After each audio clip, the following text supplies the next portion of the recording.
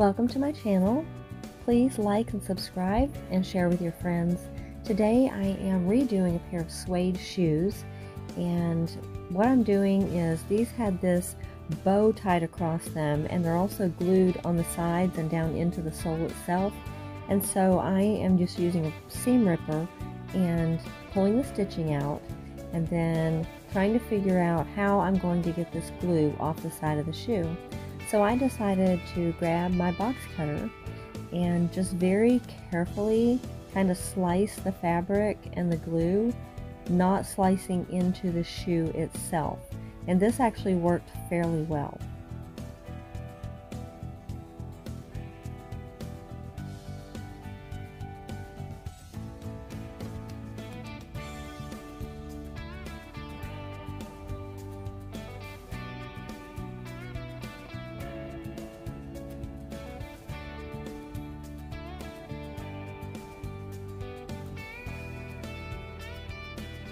Now when I got these off the shoes, there is some glue residue and the backing of the blue fabric from the bow that is stuck to the shoe, and I'll show you in just a minute how I'm going to remove that.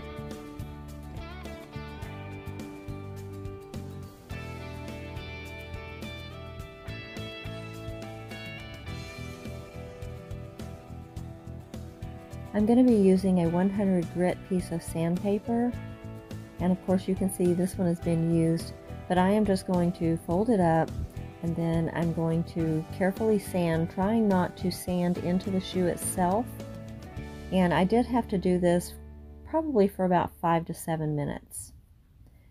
Now that all that is cleaned up and taken care of, I'm going to be mixing up a cognac paint. This one is Oxide Red and it came from the Dollar Tree from their craft corner section.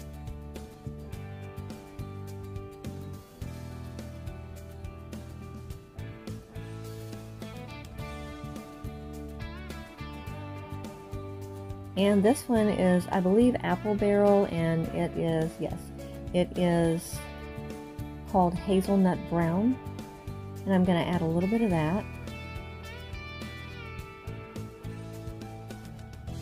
And then I'm actually going to mix between every color that I add because I want to make sure that the base color that I'm working with is where I need it to be before I add my next color.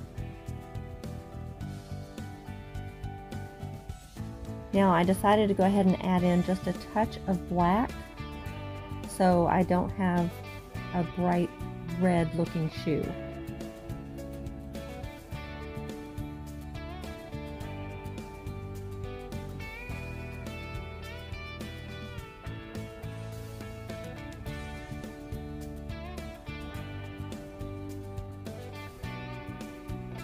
And here it's looking pretty good but it's still a little too much on the red side. And so the, how I'm going to tone that down is I'm going to be adding some apricot yellow.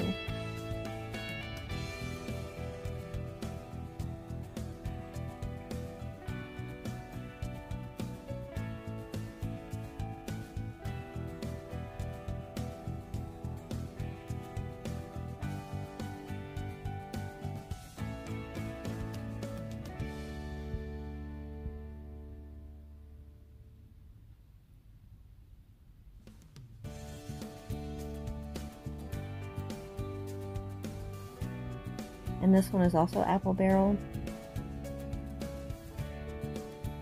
And I'll try to link the paints down below.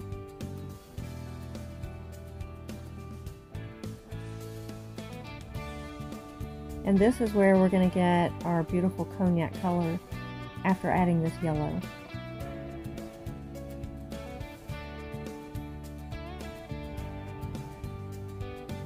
And you want to make sure that you mix your paint really well. You want to try not to have any streaks or anything in it.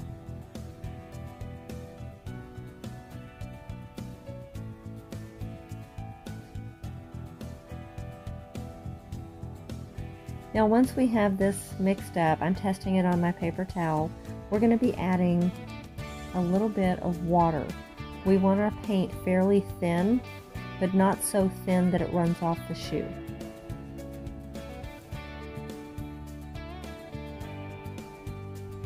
If I were to just use the paint without thinning it with water, the paint would be really stiff on the shoes and we don't want that. We are basically making a shoe stain by adding the water and that will keep our shoes soft and pliable.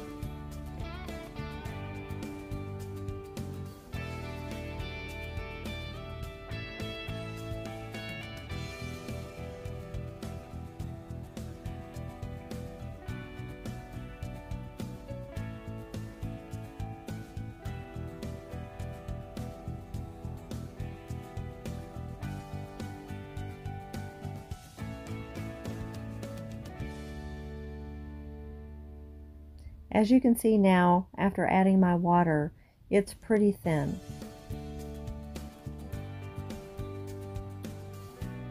I'm also using a very soft brush.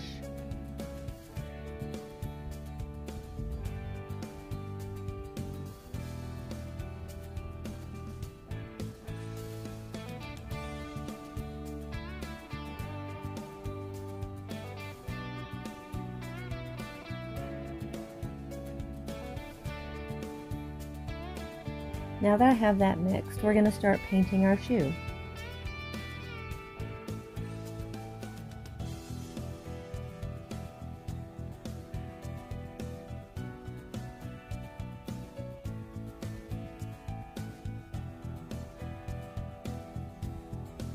This paint mixture applies very easily to suede shoes and I do have a damp rag on hand just to clean up the sole because I didn't tape them off I was afraid that I might have paint actually run under the tape and I didn't want that.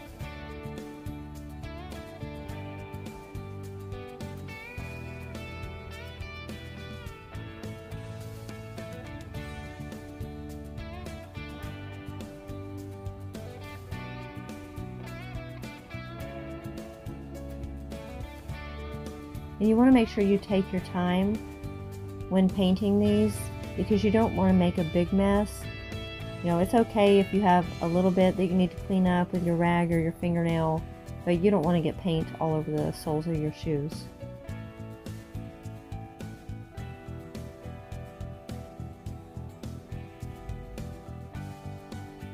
And this is just the first coat of paint that I'm doing. I will be going back later and putting on a second coat of paint.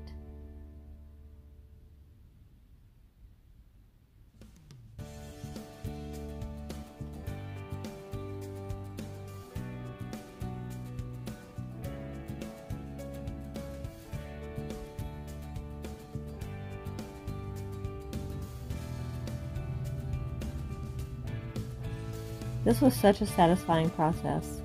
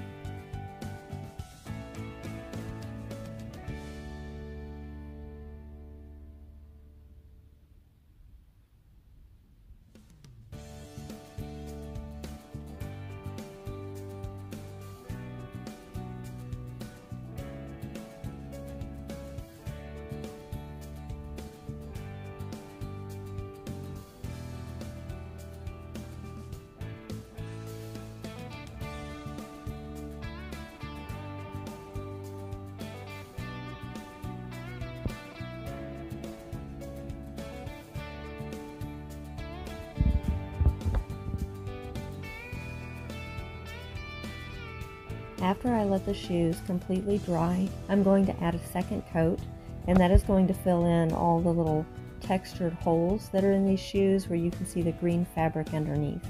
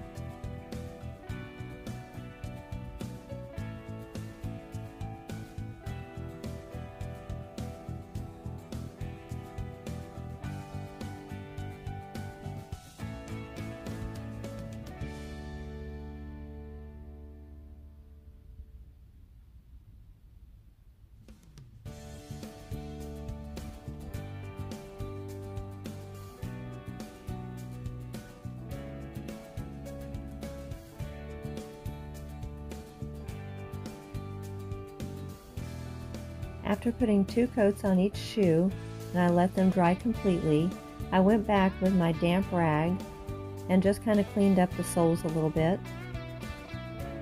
You could probably use a Q-tip and alcohol, but this worked fine for me. And then I went ahead and taped off around the edge of the soles with some masking tape. And I would suggest you use painter's tape because this is Duck brand masking tape, but it did not want to stick to the rubber soles on these shoes. I finally got it to work good enough, but it kept wanting to pop off.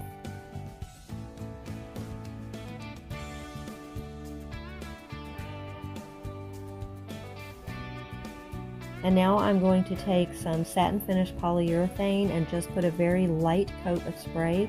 And this is just to kind of help ensure um, it's weatherproofing.